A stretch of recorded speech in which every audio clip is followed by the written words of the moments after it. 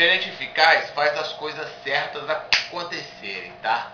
É, eu lembro de uma passagem de Jack Welch, famoso gerente da GE, que ele fala: seja o primeiro o segundo, senão caia fora.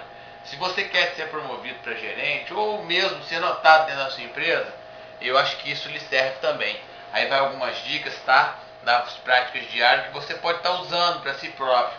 Primeiro, tá? Pode usar até na vida pessoal. Gerencie o seu tempo Conheça o seu tempo antes de ir à tarefa. O seu tempo é o único recurso que vai embora. O dinheiro se perde, se ganha. O tempo não.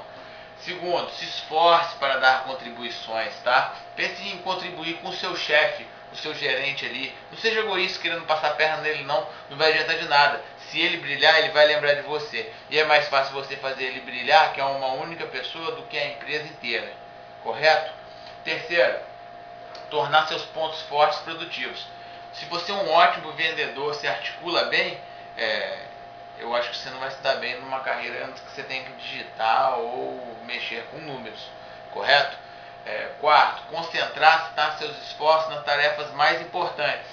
É, eu vou juntar com essa tomar decisões mais eficazes que eu ia citar como quinta, porque tem muito a ver com isso.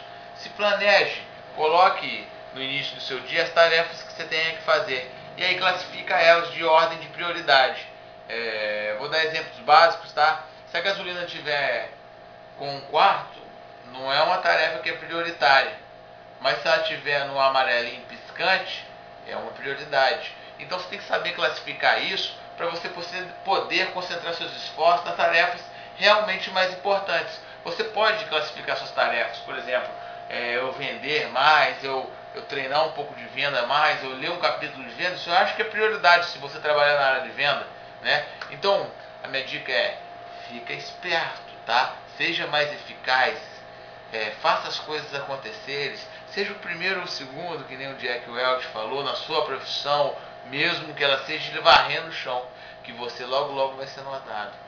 Clique em gostei e indique esse vídeo para mim, meu muito obrigado.